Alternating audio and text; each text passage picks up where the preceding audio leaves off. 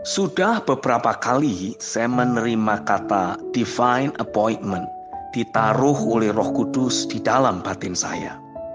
Ketika saya mendoakan hal tersebut lebih lagi, Tuhan mengingatkan kepada saya kisah tentang bagaimana Saul bertemu dengan Samuel dan pada akhirnya diurapi menjadi raja. Anda dapat membaca itu di dalam kitab 1 Samuel pasal 9 dan pasal 10.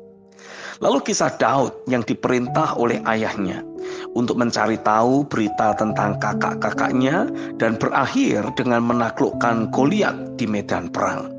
Dalam 1 Samuel pasal yang ke-17. Melalui dua bagian kisah Alkitab tersebut, Tuhan membuka pengertian saya. Yang pertama, divine appointment dapat terjadi pada siapa saja dan siapa pun yang mengalaminya akan mendapati bagaimana sejarah kehidupannya akan berubah secara drastis dan dramatis. Melalui divine appointment yang Saul alami dengan Samuel, kehidupannya berubah total. Ia menerima berbagai peneguhan dari nubuatan yang Samuel sampaikan kepadanya. Bahkan roh Tuhan turun atas hidupnya secara sedemikian rupa sehingga ia berubah menjadi orang yang berbeda.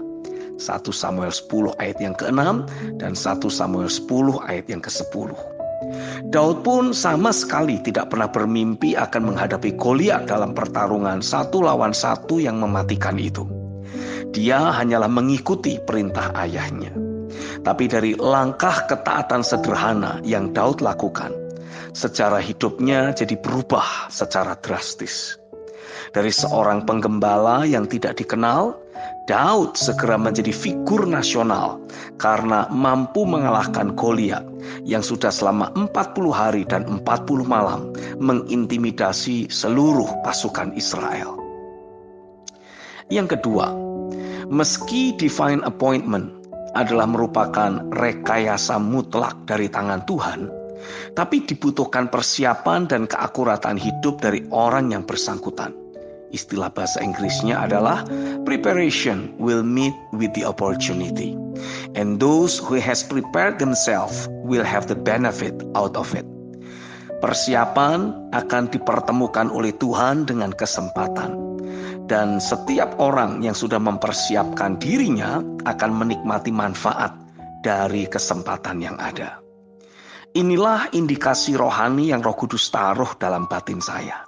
Dia berkata, teruslah mendesak masuk dalam hadiratku, hingga engkau menerima arahan, tuntunan rohku untuk engkau bisa memaksimalkan hidupmu. Aku memang merancangkan masa depan yang gilang gemilang dan penuh pengharapan bagimu. Itu sebabnya aku mau engkau mengejar arahan dan tuntunan rohku, hingga engkau akan menikmati bekerjanya kuasa anugerahku di dalam kehidupanmu. Aku mau menanamkan berbagai potensi dan kemampuan yang kau butuhkan untuk menyongsong masa depan yang aku sudah persiapkan bagimu. Dan Tuhan berkata lebih lanjut, inilah saatnya untuk engkau mempersiapkan dirimu guna memasuki jenis kehidupan sehari-hari yang berbeda di masa depan nanti.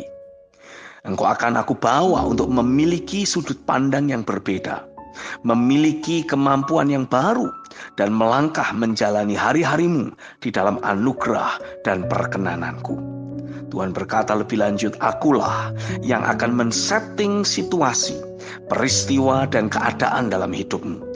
Aku juga yang akan membawa engkau untuk bertemu dengan orang-orang yang aku tetapkan untuk ikut memainkan peran penting atas kehidupanmu di masa depan mulailah mendoakan untuk terjadinya divine appointment dalam kehidupan.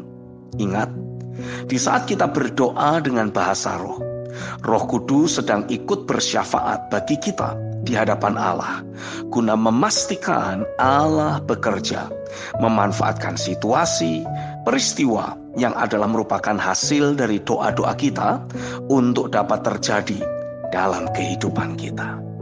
Amin.